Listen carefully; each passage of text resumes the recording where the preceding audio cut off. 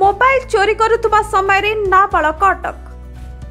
ବାଲିଅନ୍ତା ଥାନା ଅନ୍ତର୍ଗତ ପାଳକାଟି ଫାଣ୍ଡି ଅଧୀନସ୍ଥ ପାଳକାଟି ସାପ୍ତାହିକ ହାଟ ଭିତରେ ଜଣେ ବ୍ୟକ୍ତିଙ୍କ ପାଖରୁ ମୋବାଇଲ ଫୋନ ଚୋରି କରୁଥିବା ସମୟରେ ଜନସାଧାରଣ ଏକ ନାବାଳକକୁ ଧରି ପୋଲିସ ଜିମା ଦେଇଛନ୍ତି। ଦେବୀ ମଣ୍ଡପ ପାଖରେ ଶହ ଶହ ବାଟୋଇ ରୁଣ୍ଡ ହୋଇଯାଇଥିଲେ।